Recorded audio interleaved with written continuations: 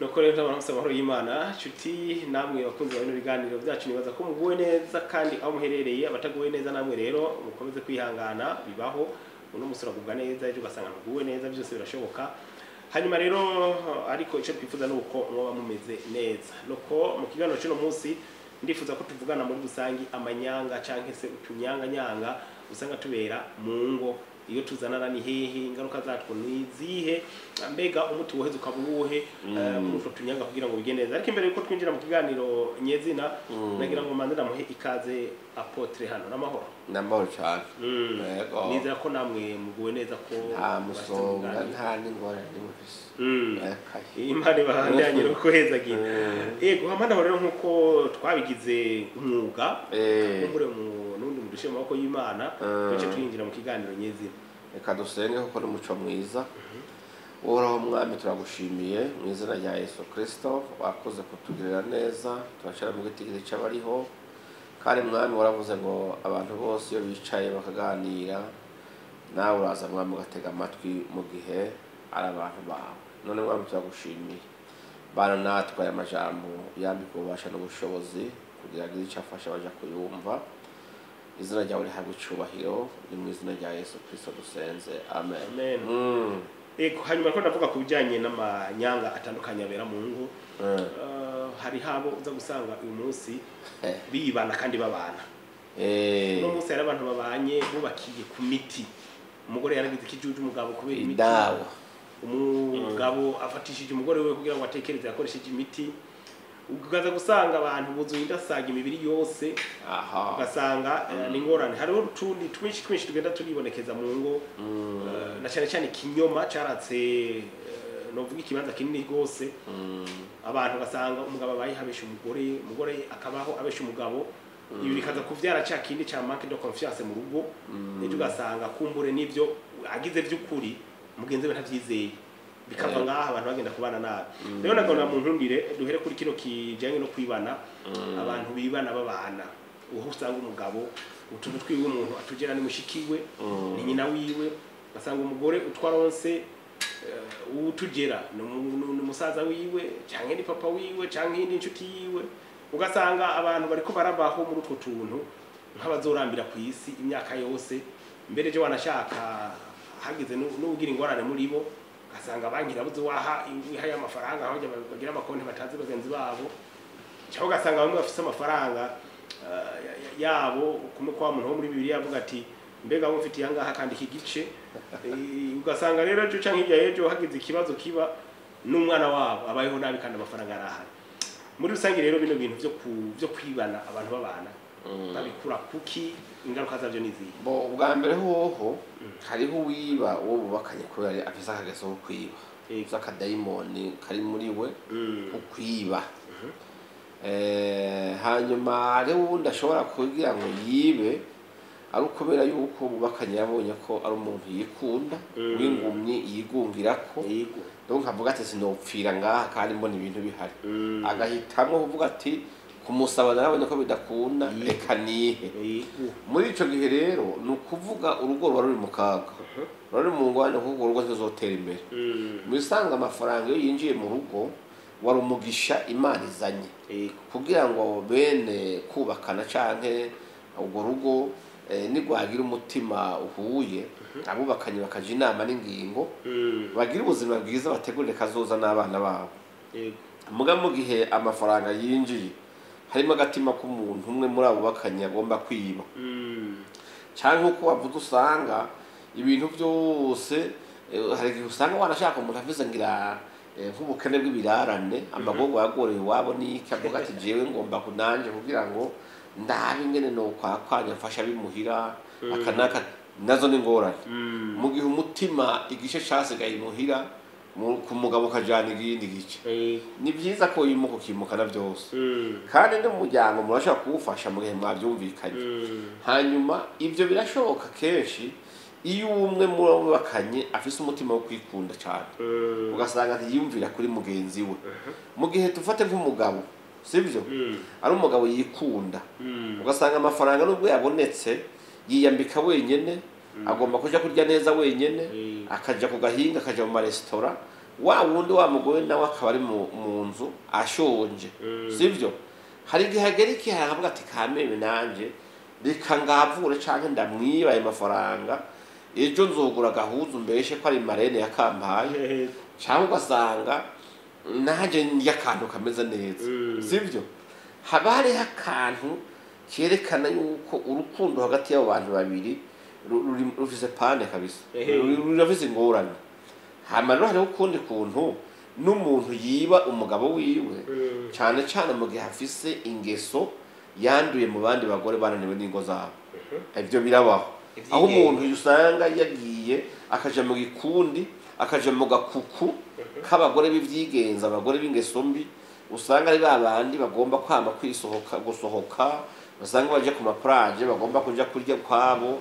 Ni donc ni- ikindi gikundi kiri ngaho. Mu gihe umuntu yacinjiyemwo hari igihe bamubwira bati reka kuba witwara gutyoye umugabo arafise amafaranga.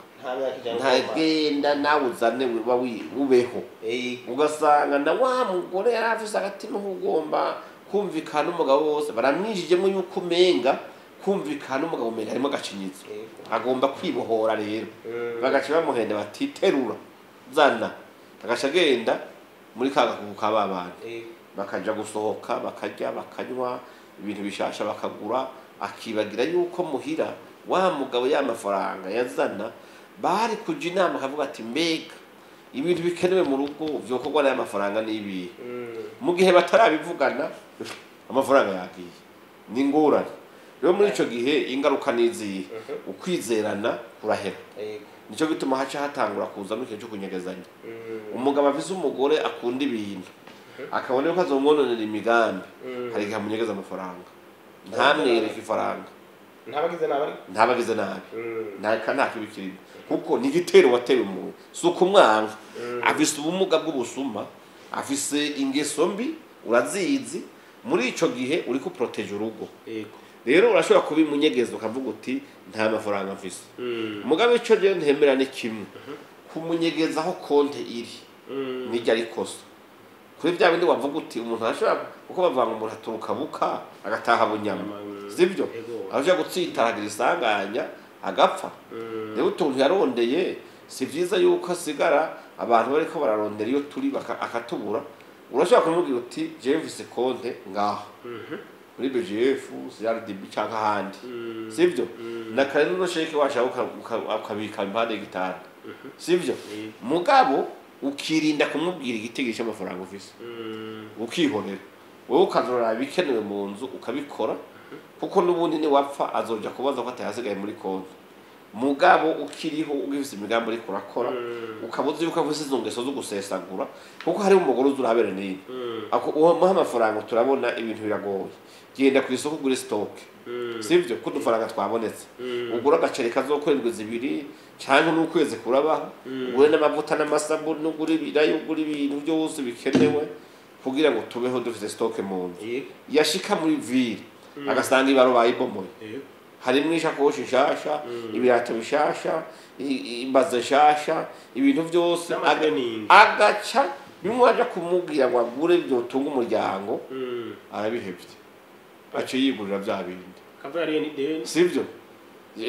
didena ati nasanze biziye nzoyazana Eh. yashigwashika muhira ukuma ati erega abana bagiye gushira batariye yiga mu nzu nta kintu kihari uti none ko je natanze amafaranga byagenze gute none ngo urumva sheri ngo nyene nyene oya ucumeye kuvuza ikibazo urabyumva yituri kuri ki dusura kuyamuha kuko amaze kubona ikintu ingene bimeze mugabe ingorane zihari n'izihereye ni uko uwo mugore ahubwo rimwe na rimwe aca gusumbya amanyama aca gusumbya amanyama kandi abizi ko asesagura ni cyo gituma uzobona abagabo benshi rimwe na rimwe n'amafaranga yo gusuma rimwe rimwe basigira umukozi Atayaho umugore. Kuko aramaze kumugeza inshuro nyinshi agiye ku isoko ntasuma agiye ku isoko ntagura. Ngo ngo ngo mu nyuma umu- umugore yidoze ngo aransuzuguza ngo urumva ngo anutisha n'umukozi. Ariko wabicara ikintu uti nganirira ingene bimeze. Mm. umugabo yakubwira impamvu aha amahera umukozi. Ukumva nawe niko bigenza kuko umugore wiwe afise ingorane Mm. none umuntu wasigaye amafaranga y'irasiyo abana bari ku ishuri umugabo ari ku kazi bataha bagasanga ntacagiye ku ziko motife ngo ngo yahuye n'agashenete ngo ngo kamakeya ngo bira none ibyo ngo ntibikunda. Rero muri ico gihe rero abantu mwe nabo ni igihengeri ku rugo gisahura urugo Mm. urumva umugore yabaye nyene ukuntu imera. Mugabo ntitwovuga abagore gusa n'abagabo bariho. Kuko no kuja kuyarya yose kandi wakoreye urugo nawe uba wivye uba wivye umuryango. Mm. Eh, ni byiza yuko umugabo ari umugabo atafise umugore afise ingeso mbi amenyesha umugore wiwe amafaranga ahembwa ingana ameze ingana angana. Mm. akamubwira ati twayakoresha gute? Mbe hariho umugabo usanga amafaranga yiwe ayahembwe yose adashika muhira. Usanga ahubwo umushahara wose wahereye ku butike. Kubera ukwezi kose yakumaze yiyandikisha. Mm. hanyuma ivyeri bandika mu gakaye yagera guhembwa hagahembwa wo ukwezi ugasanga uco gihe nawe ari uwo mugabo n'umubandi Mm. yari ibintu bitari bwiwe kuko amafaranga yari umuryango muri ico gihe rero abantu bakwiye kuraba ingaruka ntiziga ziba nziza kuko uravyumva habaho gushwana. Mm. muri ico gihe rero ubushwana bibaye ya mafaranga canke bwa wa mugisha winjira mu rugo uhinduka umuvumo. Nico gituma kenshi uzosanga hari n'abagore canke abagabo usanga avuga ati aje imbere y'imana agasenga akarira akavuga ati imana ndagusavye. Umugabo wanje amafaranga afise uyamwake asubire akene nka mbere kuko tugikene twabana neza. Uravyumva Eh. ugasanga iyo sengesho rirahari kubera ca kintu umugisha umuryango caje kuwuhungabanya Mm. nico gituma rero ikintu citwa ubutunzi iyo cinjiye mu muryango ni ho abantu bakwiye kugwiza amasengesho. Mm. umugabo n'umugore nibo bakwiye kugwiza ikiyago. Bakavugana bati dukora iki? Ibi bintu tubi- tubigire gute? Umugabo ari uko bimeze hakadukamwe umwe yiba mugenzi we. Uraraba neza impamvu yiba. Ashobora kuba yiba kubera ingeso afise n'ubundi yakuze yiba urabyumva? Niyo ngeso afise hanyuma cyane ashobora kwiba mugenzi we.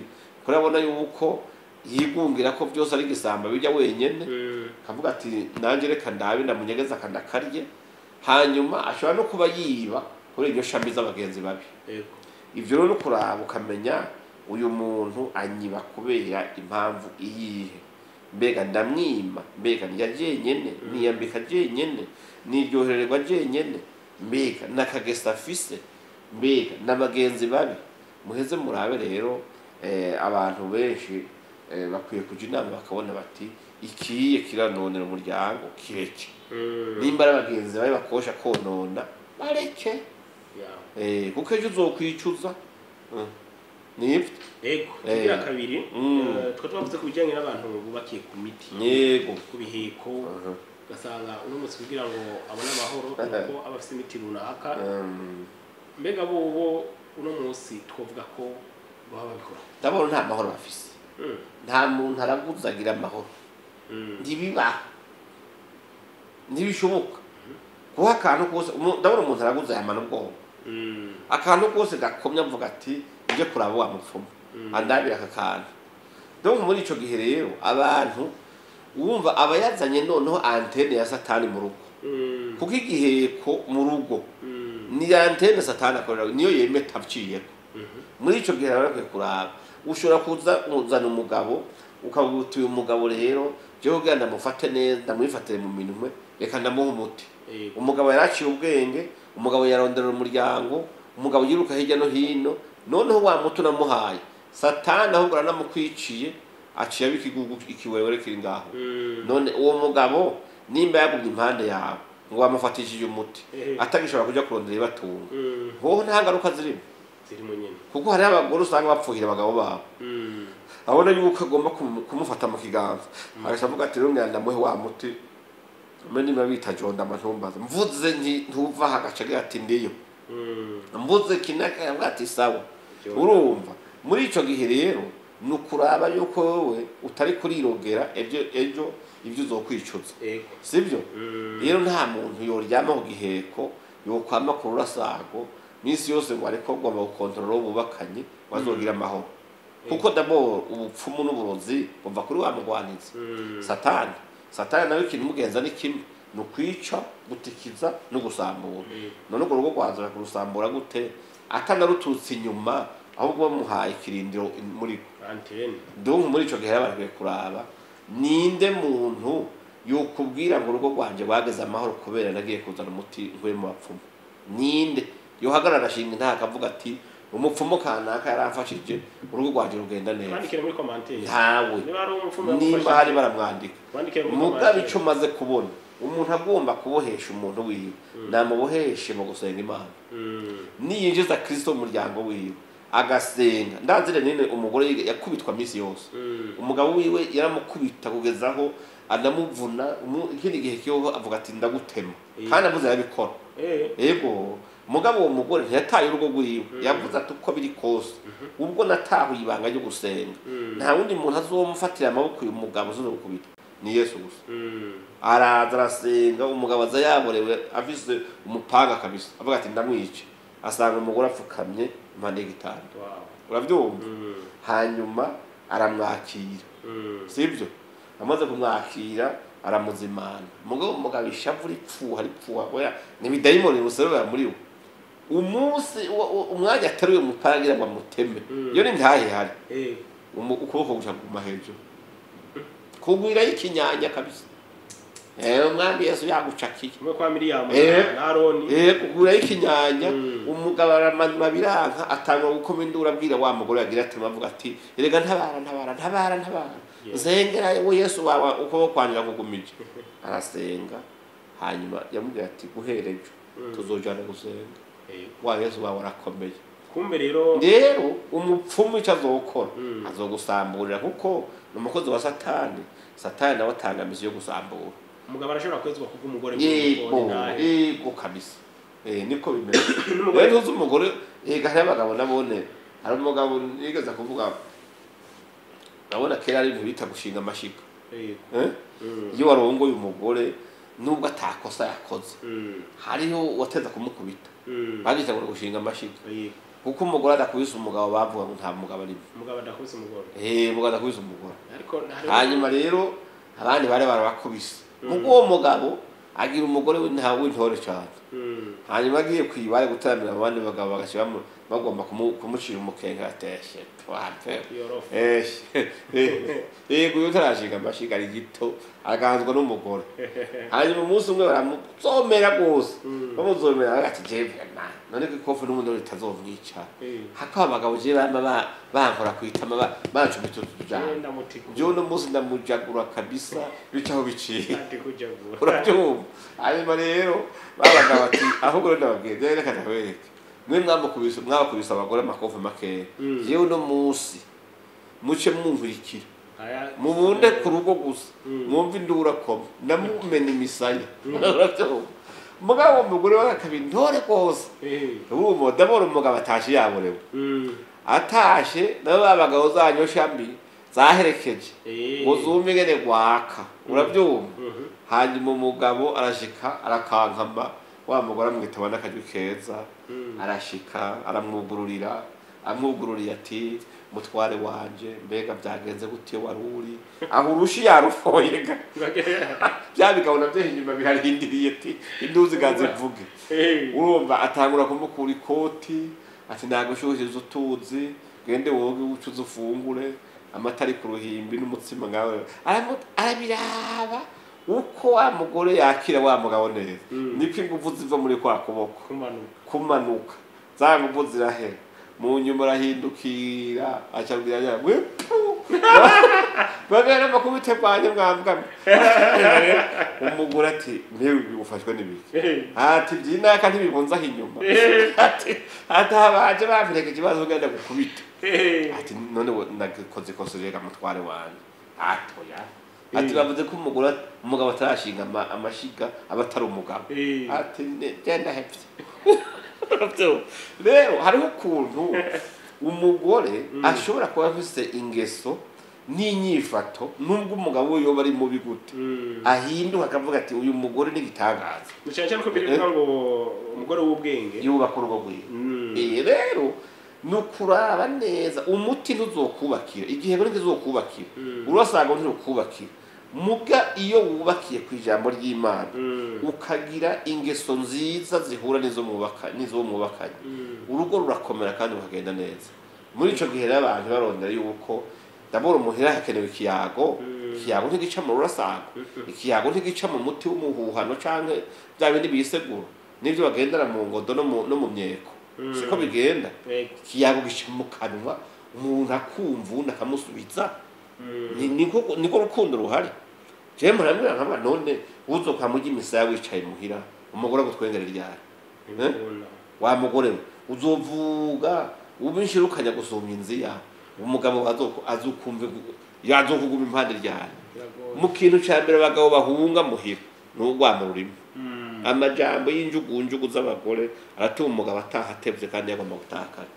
Ah. nico gituma rero uzosanga hari abantu ubu barabyoroheje benshi ba- bava ku kazi bicira muri soni kandi atayishaka warimo yavuga ati mbe ndarabaho nkwepe kandi ari muri sona n'umugore ku telefone. Eka urabyumva nta telefone nyine akaza atevye kugira ati akavuga ati naho yomvuga ntaco amasaha asigaye kuryama ni make. Ce mvunduruka nigira. Eh, mugabo hari n'abandi bagabo usanga eh, twitahira saa kumi. Mm. uruti nta ngorane.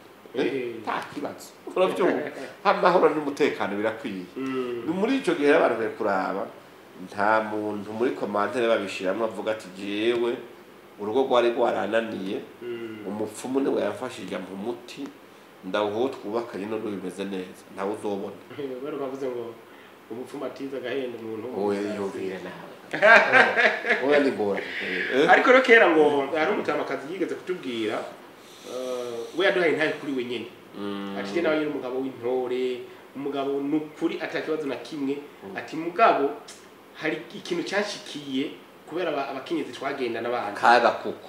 Barambaza ati none mbega wewe umugabo amaze gukubita kangahe Aha. ati nta na rimwe n'ukuri Eh. ati icyo gihe nari inamuye ari kumwe n'abandi bagabo muri salo batatu ndaza ndamumena ko amazi ni umumama yitwa Frederica.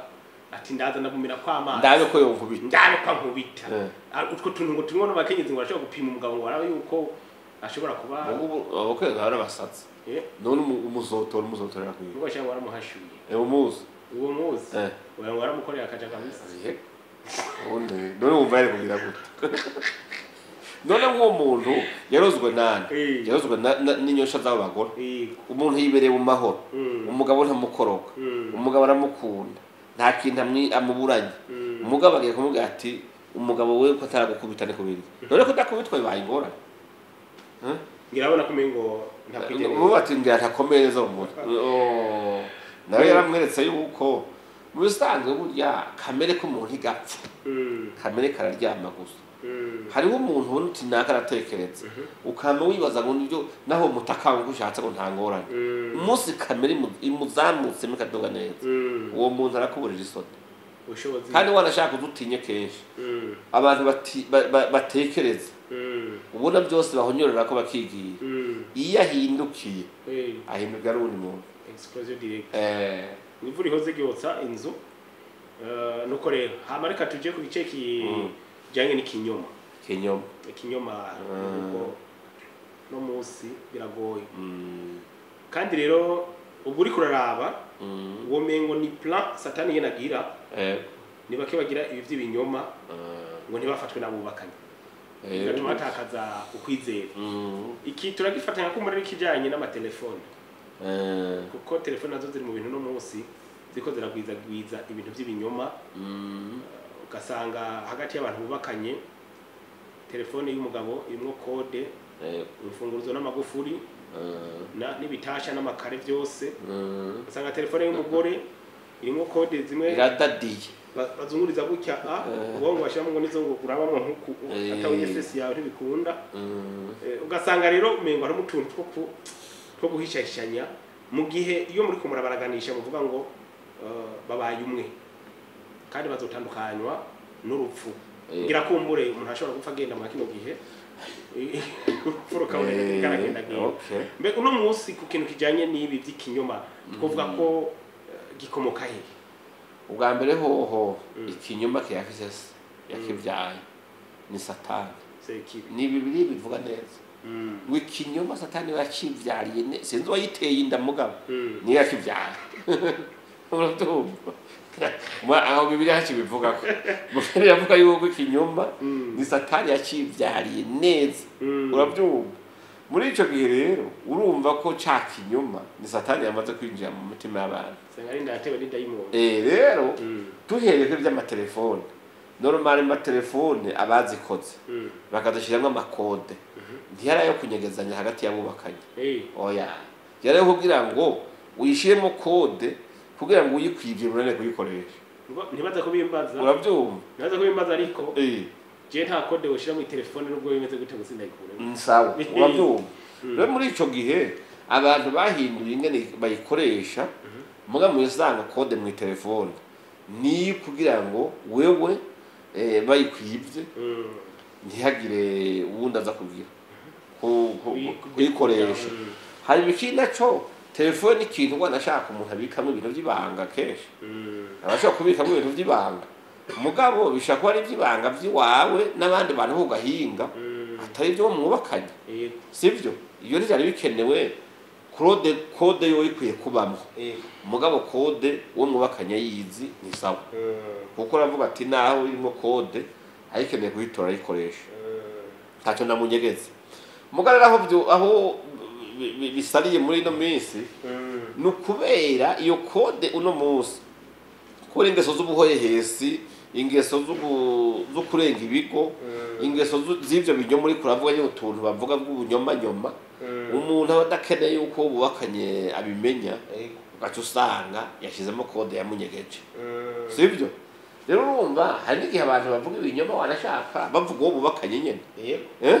Ukavuga ati ntabimenye nka bijya usanga abantu bubakanye umwe ariko agira ankete kuri mugenzi we ugasanga ariko agira amatohoza kuri mugenzi we akavuga ati ndahava bimenye amatohoza ntarayahetse agasanga yayidadiye urabyumva Mm. mugabo mu kindi twari ko turavuga ni uko ikinyoma nta muntu n'umwe cyangwa ikintu na kimwe cyubakiye ku kinyoma kigira aho gishika kirasamba uko bigenda kose kuko ikinyoma ni iki abantu barabesha kugeza aho basigaye babesha n'imbere y'imana. Eh.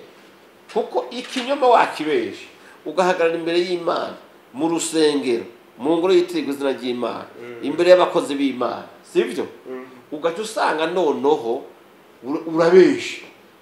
Ngo uyu muntu ndemeye ambere umugabo ndemeye ambere umugore.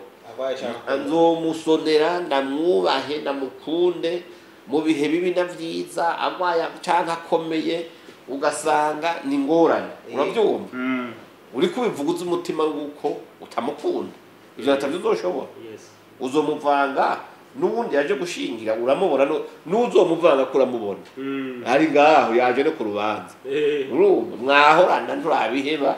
Ugatereka ibirori bihereje twibandaniriza Unfinished none uwo muntu amaze kuvuga yuko yobesha akabeshera aho hantu. Mwoshika mu rugo ntakubesha eh? Ategerezwa. Kubesha Mm. nimba harimo kudatinya imana Mm. umuntu akabesha imana azi ko iriko iramwumva inamubona ishobora no kumutwara impuhe mu mwanya uwo ari wo wose. Mm. mugabo ntibimutere kuyitinya uwo muntu yakubesha uwo mubabakanye gute?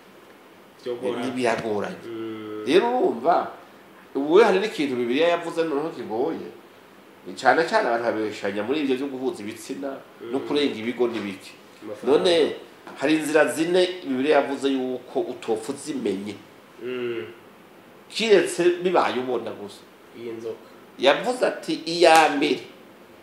Inzoka iciye ku ibuye. Mm. usanze yarenganye womenya aho inzoka yaciye Oya. Eh? reka. Iya kabiri. Ni ubwato hejuru y'amazi.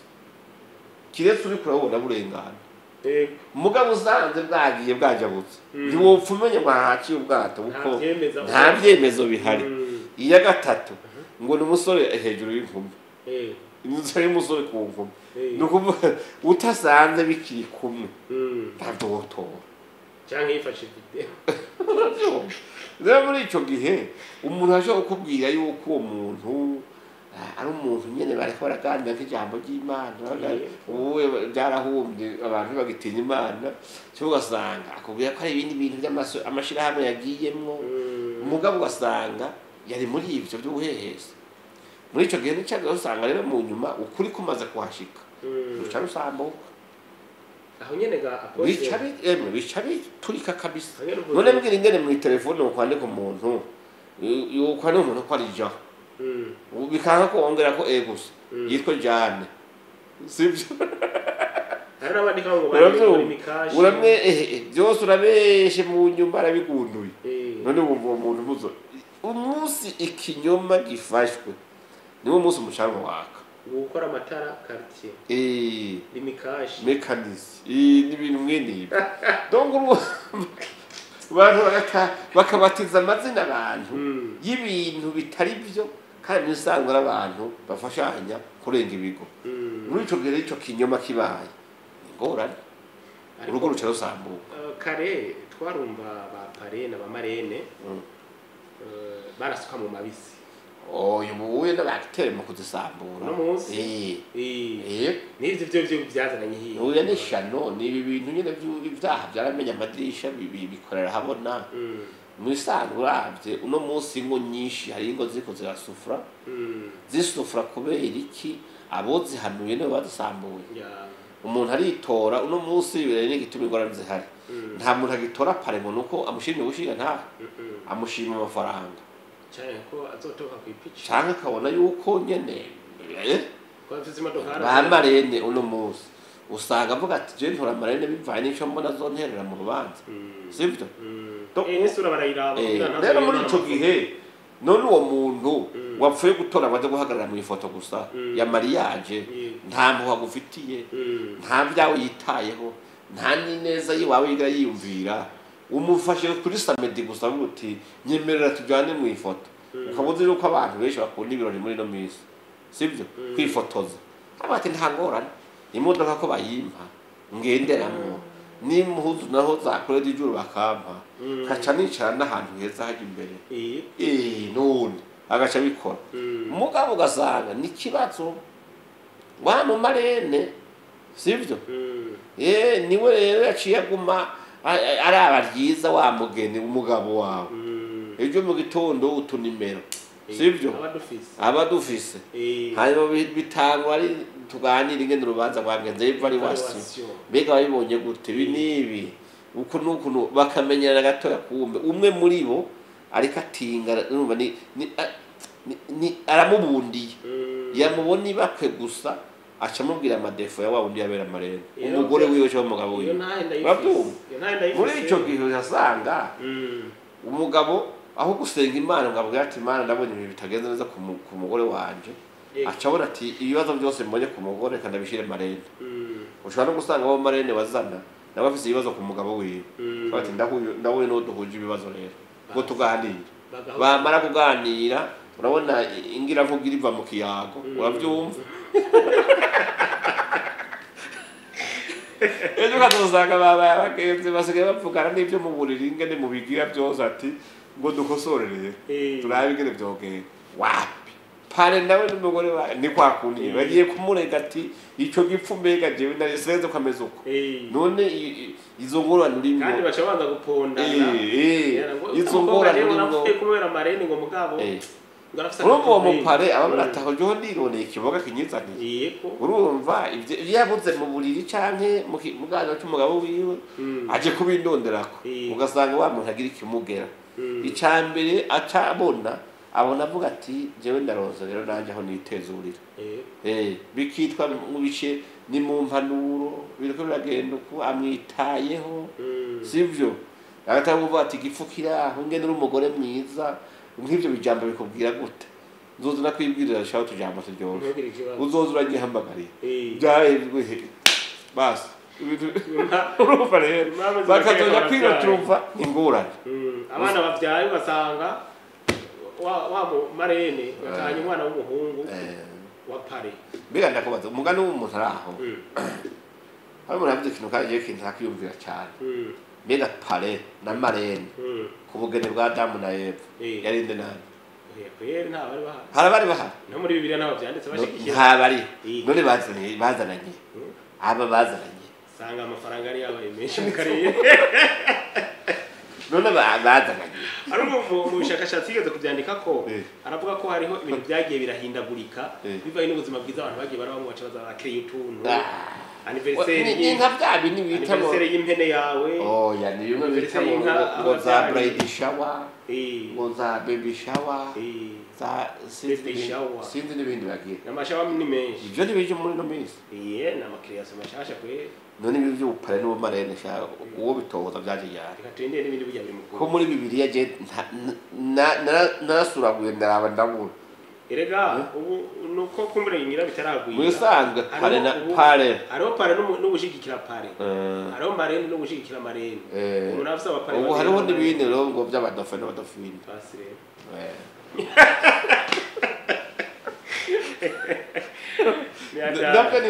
Mm. ngo ibirori biryohe ngo ifoto ise neza ngo haye udukoryo kare kare kare mu bisanzwe uwahagarikiye ubukwe bwa mbere adamu na eva ni imana yonyine rero kabisa yonyine niyo yari ihari sinzi ngira nabo bamanuka bavuye mu ijuru nka yesu na mwembe hariho bari bari Urabyumva?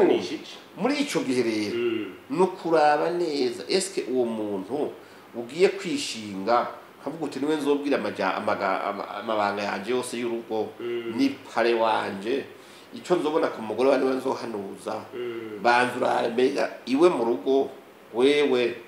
Ni- intangakarorero ni intangarugero ku buryo ubona ko umuhanuza ibintu by'iwawe Mm. daboro n'umugumya abanga uwo muntu ugiye kwiyararaza. Mm. mbega ingeso ziwe zimeze gute? Mm. ntupfe kuyorora. Oya.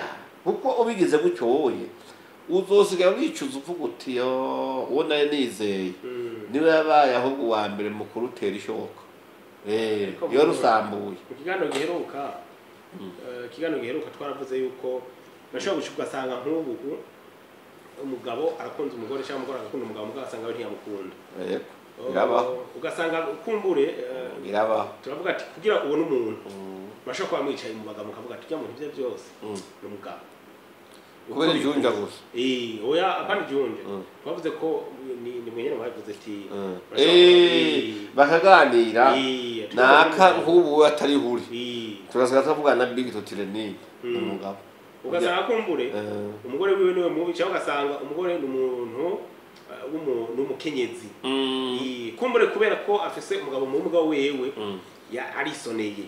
Yego uwo muntu ntibishoboka ko ashobora kuba pare cyangwa akaba marene w'umuntu kandi ari ifu Mm, abantu byo byo ugasanga afise ahubwo wowe uwo bari kumwe. Mm. ko kubera mwari muvuze ati ashobora kuba mu rugo iwe iwe bitameze neza. Ugasanga ni umugabo tu. Cyangwa ugasanga mu rugo Oya. iwe eh. Oya si uko navuze mm. Umuntu uvuga yitwa umugabo eh. si ubwanwa n'ipataro eh. Oya. Ni umuntu baba bazi mu bihe bigoye washaka bwiwe gusa no mu by'abandi ingene yifata ingene yifata Mm. ahanura abandi Mm. ingene afasha abandi gutora umuti w'ibibazo kanaka ingene yahanganye n'ingorane ziwe Mm. n'ingene yazivuyemo aho bati ujya ari umugabo. Eh, kuko hariho abagabo bagowe rero. Umugabo utopfa wumvise na rimwe yararaza umugore wiwe utopfa wumvise na rimwe akubwira ati umugore wanjye ndyamira nabi utopfa wumvise na rimwe ati umugore wanjye bimeze uku n'uku n'uku n'uku umugabo abantu Mm. bakabimenya bati nahahoze aragowe turabizi twabyumvise umugabo kubera yabihagazemwo Mm. ntaje kwiha amenyo y'abatwenzi umunsi abisohotsemo bakamwitegereza bakabona ibyo yashoboye bo ntabyo boshoboye Yego. ni cyo bituma rero iyo arenganye bavuga ati sha ni umugabo niyo rero ariko navuga ni none woho urenganye wewe wari muri abo ariko baravuga ibyo nawe baravuga ko uri umugabo nako mvuga rero nk'uyu wa- waruvuze gutyo arashobora kuba umupara w'umuntu witwa turiko kubera ko arashobora kugira icyaha n'uwo muntu mbere arashaka n'ibyo arimwo ibyo kumbure cyangwa biriya bikaba byomufasha barashaka no kwigisha wa muntu yego Mm. kuko rega icyerekana umuntu w'umugabo cyangwa umugore mu rugo w'ibanga Mm. si uko babanye batagira idefo Mm. oya ni uko Marayika. ni uko abana n'izo defo Mm. akazitwaramo neza urabyumva Mm. kuko natanze akarorero mvuga umu- umuhungu se yabajije ngo yaguma yirukana abagore biwe Mm. nabyumvanye ubundi mu mukozi w'imana ariko arabitangaho akarorero urabyumva Mm. Kuko umuhungu yarongoye umugore wa mbere aramwirukana. Uwa kabiri araza aramwirukana. Mm. uwa gatatu aramwirukana. Ageze ku wa kane. Eh. se we ati we muhungu ngo hano. We ko mbona atarugo rumara kabiri. Mhm. umugore uca uwirukana n'ibiki Mm. ati mutanga abagore baragoye. Ati ujya wa mbere. Afise umwanda. Yari afise umwanda utagira uko angana. Mm. ati je birananira? Ndamwirukana ati uwa kabiri yarasesagura Mm. namuha ikintu sinamubona iyo giciye. Ati ibintu byose yari yasesagura muravuga tutazobana ndamwirukana. Ati uwa gatatu. Ati yavuga menshi. Ati yaravuga mpaka bugaca akambuza kuryama akambuza amahoro. Ati ndabirukana. Urabyumva? Mm. ati ubu nawe wa kane. Ati ndacyamupima nawe nawe ndacyamupima Mm. mu nyuma mutamba ngo niramubwira ati sha izo defo zose izo ngeso zose mbi uri kuramvuga wabonye ku bagore bawe nizo nyoka afise. None ko jewe turambanye. Urebe bwo uranirukana mama wawe. Mm. rero yagomba kumubwira ati nta na rimwe uzoronka umuntu atagira defo nini. Sibyo? Muri icyo gihe abantu bakwiye kuraba urugo ni ibanga rikomeye wamaze. Niba gituma bambikana impeta no kubera iki Mm. bakavuga ngo bazotandukanywa n'urupfu. Ngo canke yesu agarutse mwo ukaza ubona ata n'indwi zibiri zihaciye nta wapfuye nta n'uwagwaye bose bavanye Mm. none byagenze barabeshanye bapfuye bagenda bapfuye bagenda. Ba- kristo ntaragaruka Mm. none batandukanye kubera iki rero muri icyo gihe no kuraba ni cya kibazo eh, uhora ubaza cya kibazo ati ni kuko igomba kurongora Mm. ni kuko inorongora Mm. urabyumva. Rero abantu ugombye kurongora nk'amahiganwa ukavuga ngo naha ko yarongoye nawe nzoca ndongora ukavuga uti jewe naka ko uko mbona mfise amafaranga ngira ndongore umutima uta n'ubwonko bwawe bitaraba byuzuye neza kumva yuko butunga urugo dabo urongora gute utaramenya amabanga abera mu rugo banza ubaze abantu urabyumva nico gituma kera sinobasendera washaka buno munsi kuko n'abavyeyi ba kino gihe bafise uruhara mu ngo zisambuka. Kuko ntibigera baganiriza abana babo bababwire ko mu rugo hari ibindi bintu bazobona batari babona bazi ko ari sinema Eh, bazi yuko ni fiyansaye ntibazoguma bitana twa tuzina duto duto nyene turyoshe. Mm. bagume baterurana barabana siko bimeze. Eh. uzoshikayo usange amaresponsabilite ariyo. Mm. agufata gu- agusaba kugira ubuseriye nta mwanya wo guterurana? Urahari mugabo? Mm. hari ibindi biri ku ruhande. Eh. Kuko umugore utagaburiye umuterura gute Eh. Umugore utambika wamuterura gute ni mbega umugabo udasonera yo guterura kubera iki Eh? Umugabo udaha icubahiro Mm. yo- kwishimira akaryara Ibikunda. ntibikunda. Rero hariho ibintu bimwe bimwe abantu bakwiye kumenya akavuga ati kugira urugo rugende neza. Mm. nuko nifata uku nuko nifata gutya ubundi akifata uku mbega ibibazo bije twobigera gute turabana gute twofashanya gute mugo uvuze ko byose bizokwama ari sawa eh, byose bimeze neza nta bana uraronka sibyo Mm. ntura uracaba iwawe undi akaba iwe ni uguhurira kuri poroshete gusa mugashituriye mugashituriye mwaje musezerana muri muri fiyansaye Mm. nimwamara kuja muhira nawe musangiye isafuriya musangiye inkono musangiye ibintu byose Mm. uzovuga ati eh, eh, aha rero biragoye kandi warashaka kenshi eh, abantu benshi barongorera abo bataramenya ingeso zabo Mm. Mm, ni cyo gituma bashika bagatangara Birasaba ko umuntu abanza akiga ingeso Eh, z'umuntu. bagatanga none Yo ikinyoma Mm. turashaka kuri cya kinyoma Yego. wubesha umusore Mm. agiye ukuresha Mm. umubwiye kuri isuki Mm. urabyumva umubwiye ko icyo kinarya n'igihano nakubwiye ati mponja kuri kwa kuntu bati reka reka reka reka ibyo bintu hanyuma ngo ihangane ngo nzo gutekurira ngo n'agaseke kawe wisangije ngo wenyine muga mupfa mupfa kuvana akaba aracomotse ahandi hantu urabyumva washika muhira ukumva ukuboko kuri mu kirere yampaye Futi, bebi n'ibiki ni ukuvuga bya bintu byose mwayanga Eh. na ya migambi yose wari Mm. biba bicitse ubusa uvuga ati byose yarampenze wa mugore nazana ni ndaya urumva ni ingeso mbi gusa ibintu byose n'ejo naho azokubwira ikintu tushobora kumwizera tafazari umuntu akubwira ati nubwo wonjana Mm. twicara tuganire ejo ntuzobyumve ku bandi. Jewe naragendanye n'umuntu. Kandi twarabikoze Mm. kandi yarampemukiye byagenze uko twabyenze uku nuku nuku nuku. Tunanirwa kubira uku nuku nuku nuku. Nimba wumva byoshoboka umenye yuko yaranteye n'inda ndabize umwana. Canke narayikora iravamwo Mm. yoba kigutwara yego. Yego mu rukundo iyo rwakunze umuntu. Rero nkuba kubwiye gutyo Mm. uwo mutwara yego si umubi kunyegereje kandi uvyicura kumengo rero muri ico gihe abimenye akabimenya mwamaze gushikayo mwamaze gupfuma indobo haca haza akantu muri ko kwicuza narihuse iyo nindira ntabaza bukebuke ibi bintu byose mbonye ntabyo nigeze menya wowe uzana kwa kwizerana kuraheze Mm. wa rukundo biragoye umuntu agaca avuga ati naguye mu rudobi urugo rugaca rupfa rero nico gituma urugo rukwiye gutereka ku mushinge witwa ukuri Mm. rukagira inkingi zitwa urukundo imbabazi no kwihangana. Uyu munsi ga apotre mm, turumva benshi bidodomba eh, bavuga yuko bishoboka ko hariho akantu uno munsi gakomoka kuri bwa busambanyi twavuga. Eh, ko hari abagabo benshi bashobora kuba bareze abana atari ababo kuko biragoye kumenya ko umwana avutse akavukira mu rugo ari rwawe cyangwa atari rwawe. Mm, hanyuma bagaca bidoga nuko n'ibi byo kugira ama ADN ngo bi- bizimba. Mm, ku buryo wosanga ah, umuntu ariko aratakaza n'umwanya avuga ati amahera yo, kuja gupimisha ayo ma ADN wosanga yotunga uwo mwana naho yoba atari kumwe na nyina. Mm. Eh, uno munsi ibi bintu biriko biraza biteye ubwoba gutya eh, ni mu bihaha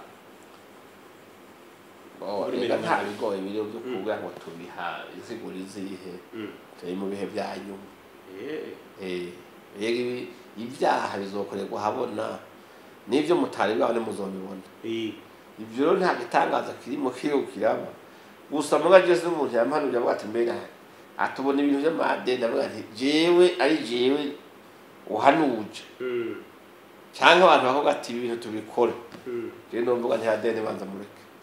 Kuko abantu benshi usanga mu ibarabara batoye amasashe bariko bariruka. Urabyumva? Abandi mavesiye bafatiraho bicaye. Eh, abandi imitima igahagarara bagapfa. Kubera bosanga hari amajyabo menshi. Kuri ibyo by'abana bavuka. Ni ngorane kabisa. Byiza rero Mm. kugira abantu ntibajye no kwihungabanya ubwabo. Mm. nibarere abana n'ababo. Nubwo batari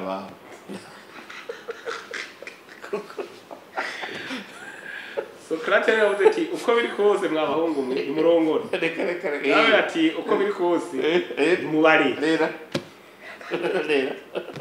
Eh, nawe kujya kwirondeza ngo yoba ari rwawe cyangwa atari rwawe Mm. Eh, twakoze batubwira bati umwana se w'umwana amenywa na nyina.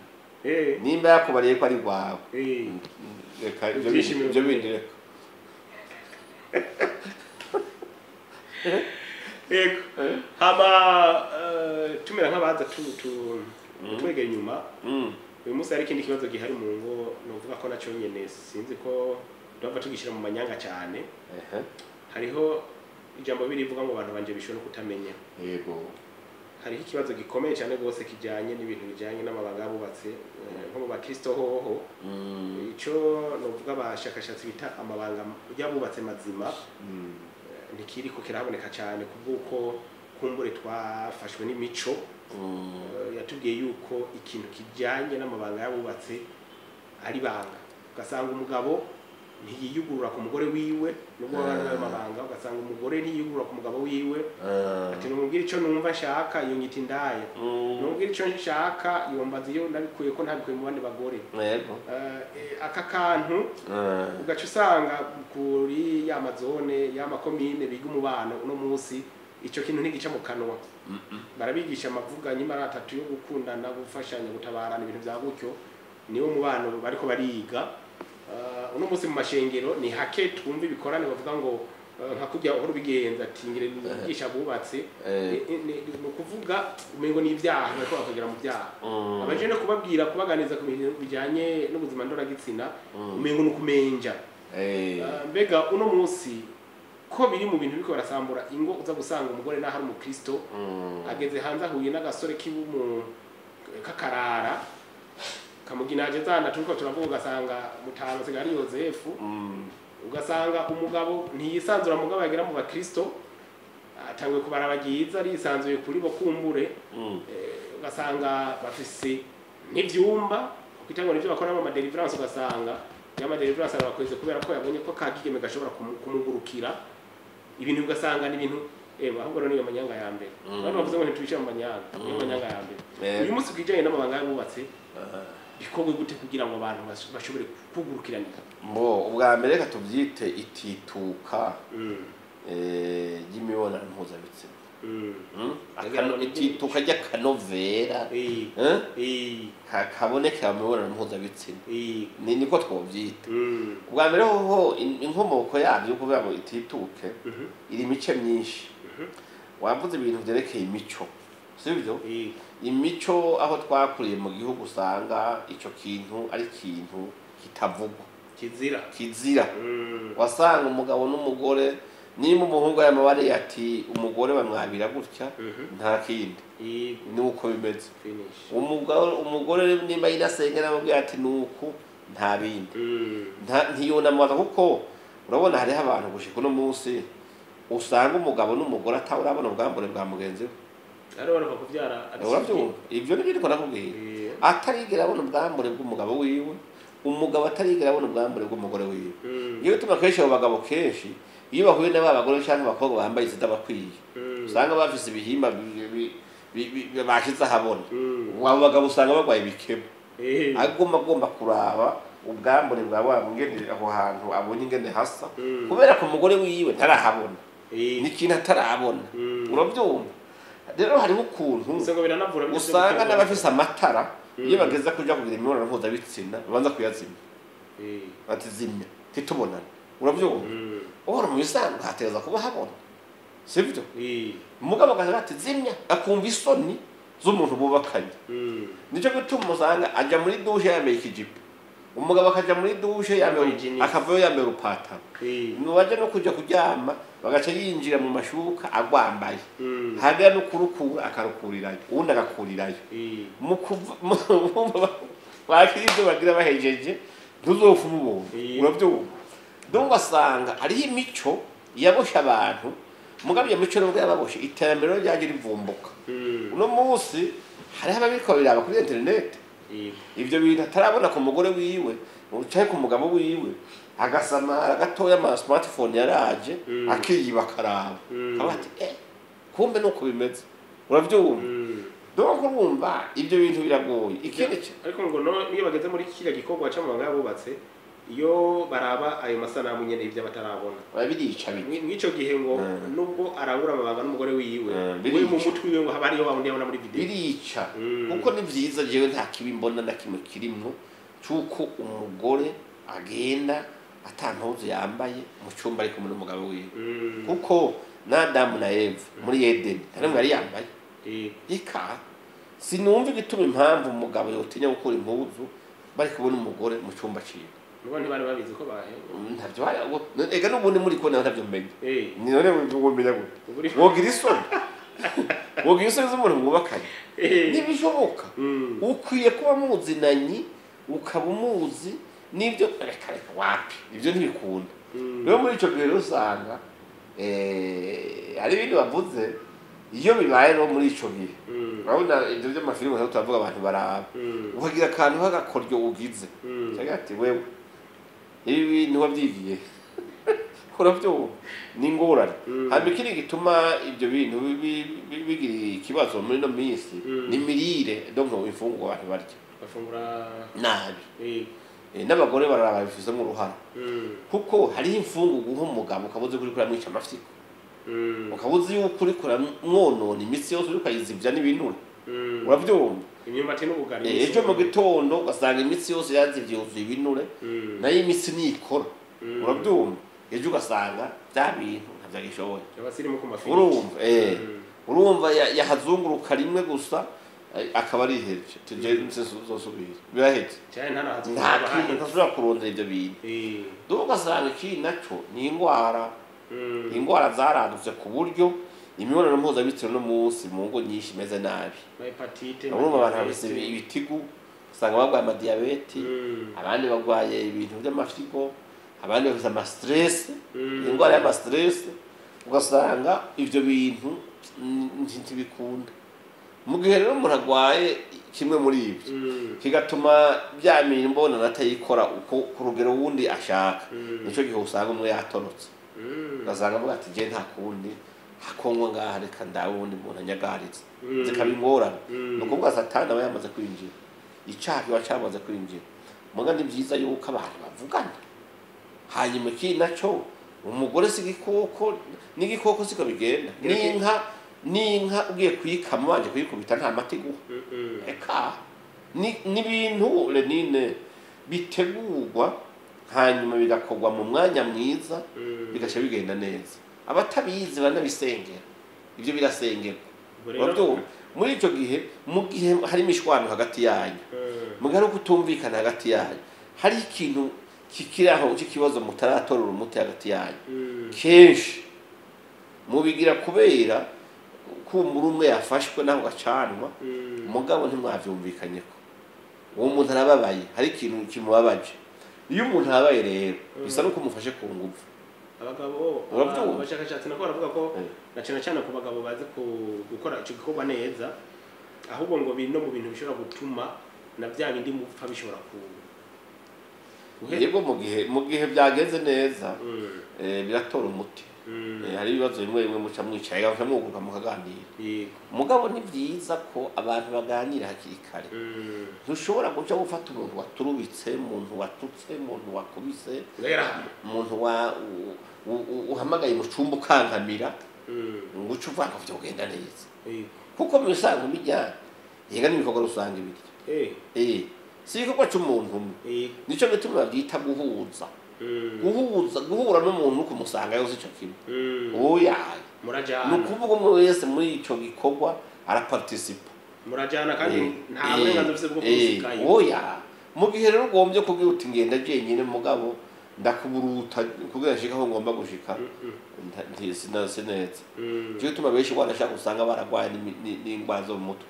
Mm. bakagwara indwara z'umu- z'umutwe zo zo zibiya bita nyine ko ari hahamuka canke bijya bintu bivugwa n'abapisikologe ugasanga ni nko gufatwa ku nguvu umugore yafatwa ku nguvu kuva akiye mu bugeni bwiwe yitwa ngo yararongoye umugabo umugabo urumva aramuturubika aramukubita aramugira gute hanyuma agaca agomba kumukoresha imibonano mpuzabitsina ni ukuvuga yamufashe ku nguvu Mm. ni ugukeya rero iyo ambiance urabyumva sibyo muri icyo gihe ikirere kimeze neza n'ibyo bintu bikorwa Nayo bitameze neza. Niba hari ibibazo ngo abantu benshi bakubwira ngo ngo yagiye mu bahabara ngo ntiyumve umunyenga no kubera iki umuhabara ko murashwana. Eh. yego umuhabara nta rukundo umusaba umusaba serivisi gusa.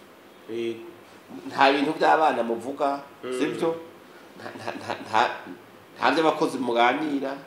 Yaba ni mutatira n'umuntu mwubakanye by'imigambi y'urugo nta bintu muvugana Mm. oya ni anti stress gusa ni ni ukwivura agastress gusa wigiye cyangwa ngo ni ho sawa naho wapi abantu bari kumenya yuko umuntu wese indya zose zo kwiyarara Mm. zitera inzoka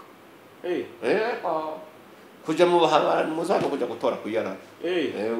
Ubuhi uzogwara inzoka none hako wishwa n'inzara Oh, yes. Kanda yikwiye. Kanda yikwiye. Abantu bareke kwihagarara ko no kuha satani kibanza. Eh. Nabavire mu byabo, umunezero Imana yabahaye bawubemwo, hanyuma bigende neza. Mugabo ugombye kuvuga satani ko baryama hagati. Mujyanye mu kimwe. Umwe araba iyo riserukira, uwundi iyo rirengera. Sibyo? Mu nyuma wewe ukubi- umuteye umugero uti yewe yewe si hari hari igihe yisinziriza kandi asinzirira kumva Eh. urumva. Urumva hari ibintu bariko barakubwira ingene ibintu abantu babanye uti vrema abantu baba mu kagihe no mu gatondo Mm. muri ico gihe abantu bipfira he? Hari umugore muri karitsiye iri aho yigeze kubwira umugabo wiwe bashaka jewe n'ukuri ngo hako mbana na wewe. Ngo nawe gucuma mbana na satani. Uyumvire umugabo yamubwiye ati byo n'ukuri. Aha. tibuze ikibi nuko abavukana batabimira ko babana Ah, urumva n'icyo atanize ibiri oya ni byo urumva. Mu rugo satani yazanye uruhagarara Mm. akazana indyane hagati y'abubakanye n'abana cyangwa n'ibindi. Nta kintu na kimwe kigenda neza. Nicyo gituma satani uko bigenda kose wana urugamba agusohokere mu rugo rwawe. Mm. niyamara gusohoka muzoyaga muhuze n'umuntu wawe n'ibyo ashaka n'ibyo akunda. Abikubarire muga mu gihe mwese mufite iminwa Mm. Eh, biragoye yuko ibyo bintu byoja mu buryohe birasaba ko umwe yoroha Ego. Ego, hanyuma rero nuko uh, uno musi rero muriko murakora iki canke mbo, leta na yo nyene kumurengera iba yumva ikiba gikenewe kuko abahinga mu bijanye n'ibi vy'imibano barahari. Ntibabaha akazi si kuvuga ngo ni mpaka umuntu aba ari chef de zone canke ngo aba ari musitanteri ngo ni ho aca bitahura. Ariko rero nk'abakozi b'imana uno musi bobo bakore gute ko mwumvigwa namangaruka ukintu kintu cy'uko abakozi b'imana mwumvigwa cyane mbere gusumba atana amategeko mwe murakoresha atari abapolisi mwe murashiraho ariko abakirisi mukababwira bakumva. Uyu munsi none mu- muriko murafasha kugira ikibazo kigore rero. Mbere mbega nyabakozi b'imana uri kuravuga. Barabizi woja kuraba muri urwo ruhande. Bobo bo bose agatangurane bafise. Nizo kinisho kibazo. Mm, muri ico gihe rero hari n'ikindi kintu bakwereka yuko umenga kubivuga ko uri umukozi w'imana umenga uraguye mm. Mm. Mm, mm. umenga uraguye umenga wataye umurongo Mm, kandi muri bibiri avuga ati nyabona ibi bintu mubisonere rwose ntihagire uwiba mugenzi we Mm. urabyumva rero muri ico gihe abantu ni ukuraba ko ntawe utanga icyo adafise mm, mm. mu gihe atabyo ufise ubwira abandi biragoye ko nawe icyo ubabwira nawe ni cyo gituma nawe ukwiye kwi- kwicara ukiga urabyumva mugabo ico kintu bakwiriye kukimenya Eh, mu bisanzwe niyo mpamvu ya mbere principal. Mm, ituma ubukwe bubaho yego urabyumva Mm. niyo mpamvu. Umugore cyangwa umugabo ntibahura ngo bace bavugana ya migambi yo kwambikana impuzu gusuma ibiharage ngo barye baryame. Mm. oya impamvu nyamukuru niyo.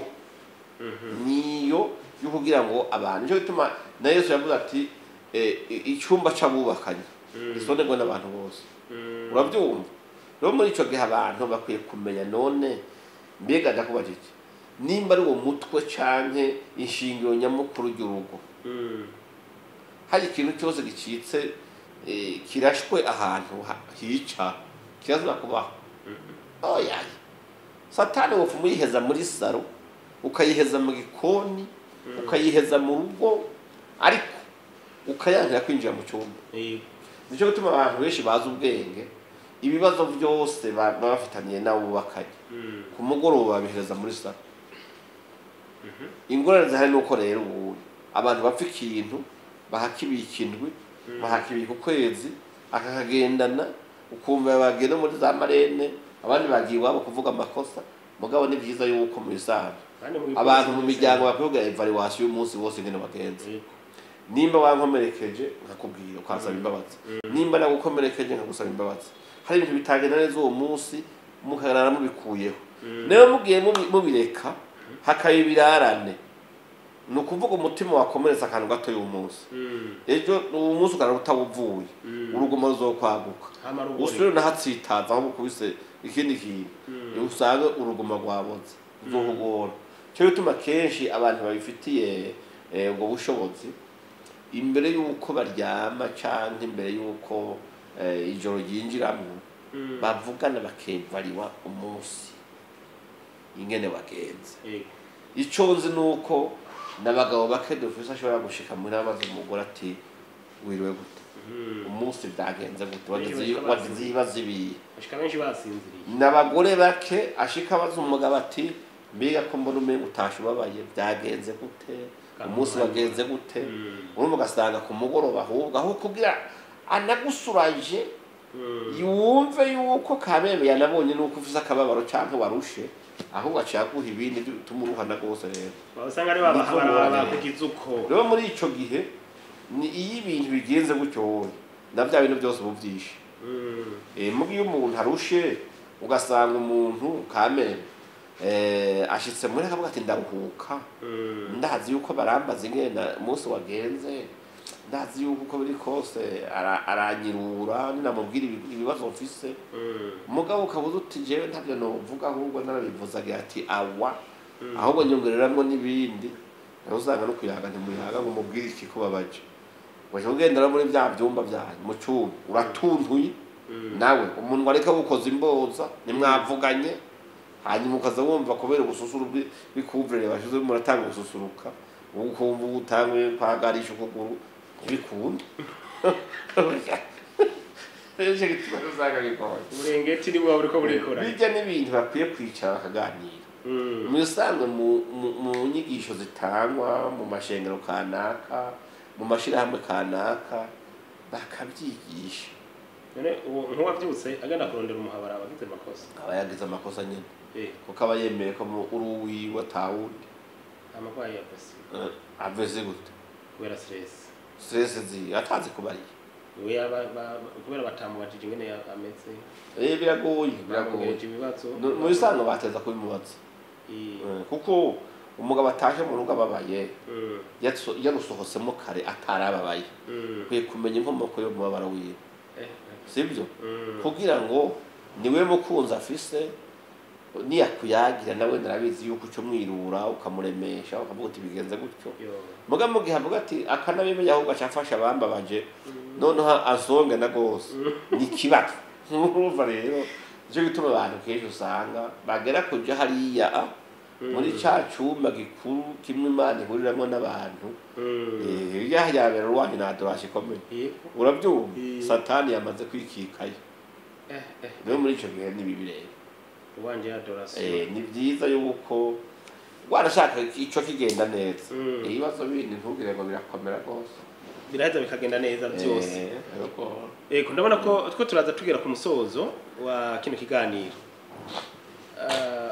Uyu munsi rero hakorwa iki? Haba kuri aba nyene bubatse eh, ba- ba- ba- bubakiye ku kinyoma Mm, babubakiye ku miti mm, babubatse bibana abo bakanye mugabo bavuga ati turafise ibibazo ibi na biriya mu bijyanye n'amabanga bubatse muri rusange twobabwira iki duce dusozera dusenga.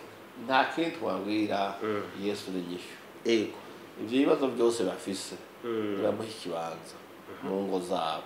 Mm. ndabona mu mitima yabo mu migambi yabo ntihagire ahantu hamwe mu ngo zabo bamusigaritse. Bavuga ati aha hantu harekuriwe Mm. ntibamureka twari hose.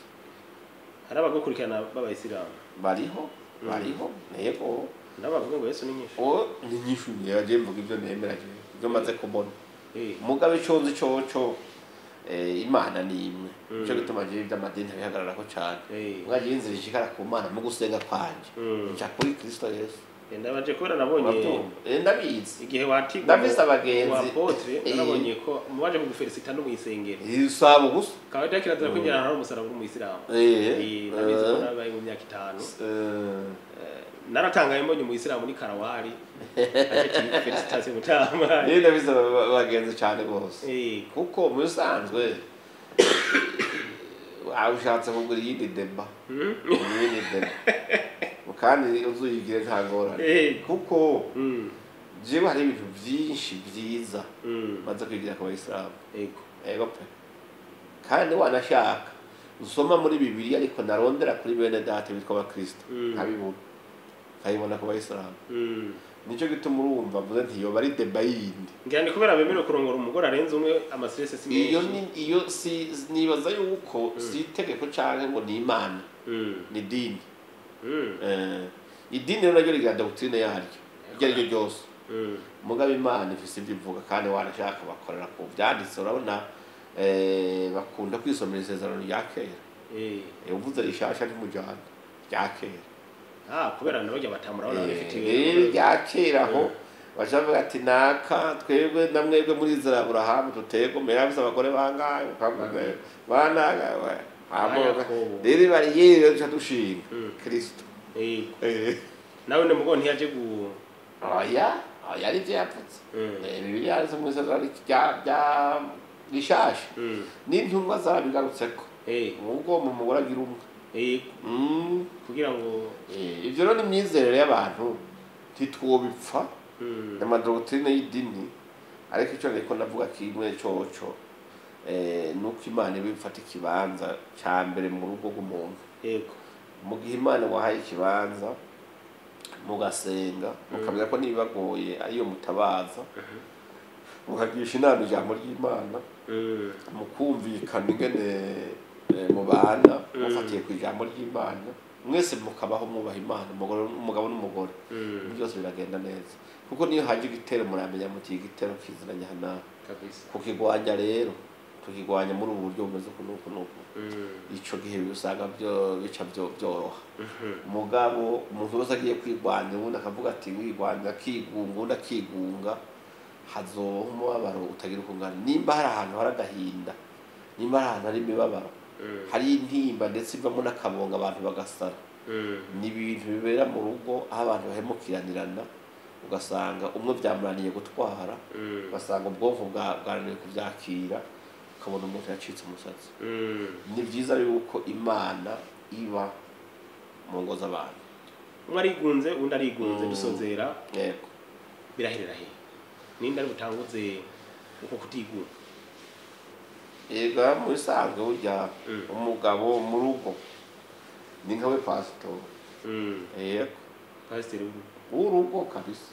Ijisho ry'igihugu. Kandi kenshi uko umaze kubibona. Uretse abagore nyine bariye akabyi basaze Mm, iyo abagabo benshi bemeye bakamenya ubwenge mm, ni ho ugira umugore w'ingeso mbi uretse ko hari abananiranye mm, hari abagore Eh, hari b'intare b'intare. hari abagore naho ugira gute bitoshoboka Mm. ni nk'uko hariho n'abagabo i- u- i- ico kigerageza utobana na cyo urabyumva mugabo benshi bemeye gutabarwa n'imana irabatabara.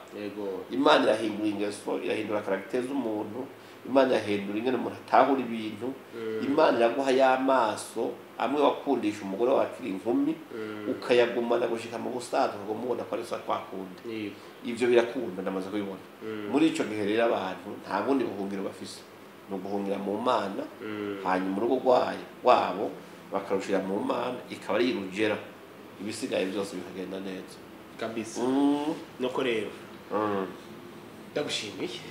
Mbega ndagira gushimiye Eh. rwose ndashimira ariko batwumviritse kabisa yego muratwihanganira eh, Eh, twavuze menshi akenewe ariko ndabashimira ko igihe cyose mukurikirana ndetse mukatubwira n'ibyifuzo byanyu muri commentaire ni byiza kuko tuba tubona ko tutari ko turatamba twirorera bigahita bikaduha ingufu zo kubandanya dutegura n'ibindi hampande aho rero nagira ngo dusozere n'ubundi usengera ubwa mbere na mbere sinzi numva umengo usengera abana ba jeune mm. eh, bariko baraja kubaka muri iyi minsi kugira ngo imana izobarinde imiyaga mibi yo kurangura amabanga yabubatse nabi. Mm. hanyuma eh, musengere kandi n'ingo na zo nyene Eh, ababirimwo nabi n'ababirimwo neza bose.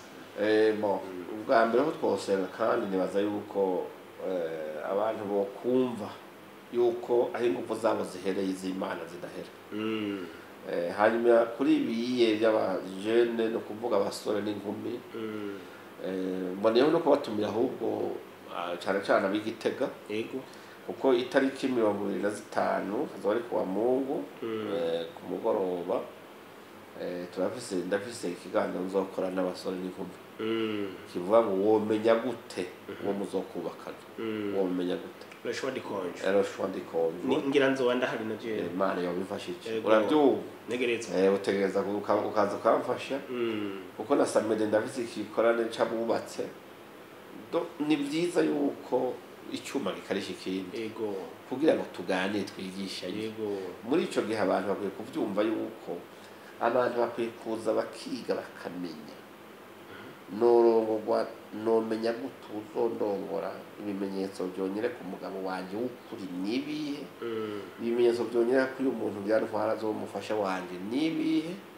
Urabyumva? Mbega abamaze kubakana ingorane zacu aho zigeze ngaha zo twozivamwo gute? Mm, kubera hajya abantu benshi baricwa no kutamenya niko ijambo ry'imana ryavuze. Mm, rero nari mboneyeho kano karyo. Ndabararika namwe muzoza mm, eh, kugira ngo wumva umva aho tuzaba turi kumwe. Eh, kugira ngo twigishanye Mm. kuko aha kuri kamera hari ibintu bi- by'umwanya muto umuntu aba yikoresha ku bibazo Mm. mu gihe ubonana n'abantu. Usanga hari ibintu byinshi biza abantu bagatabara. Mwatumiye abanyagitega gusa narigeze gutumira abanyabujumbura. Eh. Eh, kubera nabisi inyigisho ariko ntanga mu kamenge z'abajene nyene. Mm. N'abanyamuramvya haraza ni byo narigeze kubikora. Haraza abavuye hehe Eh, ubwo mu rutana kwera ngo naho twitumiye. Ikiya ni ikimenyetso kikwereka yuko Eh. mu by'ukuri Mm, ico kintu ikibazo gihanze abantu benshi. Mm, ni cyo gituma ahantu benshi iyo duhamagaye ngo tuyage tuvugane n'abakobwa n'abasore bagaze kurongorwa cyangwa kubaka izabo mm, uzi ubona watumiye bujumbura? Ubona abanyamurambye bamanutse. Abo mu rutana baje. Ukumva uri muntu yavuye mu cy'ibitoki ata kindi kintu ki- kimuzi avuga ati ntegereza kuba aho hantu urumva yarinze afata itike ryiwe. Mm, akiga bakaza hari n'abaza bakurara ino mm, uca wumva ko icyo kibazo ni ikibazo gihanze abantu benshi. Rero muri icyo gihe urumva ko eh, bikenewe ko henshi byigishwa abajene rero Mm. inyigisho urumva ko zirahari tuzofashwa n'ibitabo bitandukanye bibiliya ibitabo nyine by'abanditsi batandukanye. Eh, muramuzi umuntu wanje je nize kare stane fomamu yaranditse igitabo ibitabo cyo nyine shwa lo shwa dikonjo cyo nyine. Hanyuma rero nuko eh, bitunganije gute abaje dusozerera ko bazoyibona ku byapa. Ego. Bazo ku sport publicitaire mm, hanyuma hariho n'ubundi buryo bwo gutumira ngo abatubarise hariya bazokoresha mm, kugira babimenye. Nta kibazo Eh, uko biri kose benshi bazobimenya mm. ego tuzobane tubabwire ego haba no ku maradiyo ndazi Eh, bizobabwira Mm. hanyuma nibaza ko eh, n'amaradiyo hariya kumbure. Eh, bazotanga n'ibiganiro kugira ngo ah, ba- bashobore Eh, kurarikwa. Ego. ego Mm. dusenge kugira ngo dusozere murakoze Yego, cyane. Mwami turagushimiye. Uhoraho nyine ingabo akoze kuba natwe. Twavuze mwami amajambo akomeye yerekeye ibibazo biri mu ngo z'abantu hagati y'abubakanye. None mwami turagushimiye wowe uzi byose kandi birahoze icyarimwe tabara mwami izo ngo zose waba ziri kuzaka umuriro zizimye urukundo mwami satani yibye urugarukane maze nyaguhora ku ngoma. Byose bigende neza izina ryawe rishyirwe hejuru. Uzoba ukoze mwami. Dusabye gutyo bika ariko byinshi bidukorera ubw'ubuntu bwawe. Ni muri rya zina rya yesu kristo dusenze twizeye. Amen. Amen. Mm. nuko rero ndabashimiye cyane. Ngaha rero kino kigano gice kirayangirira reka ndabashimire ndabakengurukire mukomeze kandi gukurikirana ah, kuko n'ubundi turacyari kumwe namwe nimutatuva inyuma twebwe ntituzobava inyuma. Bye bye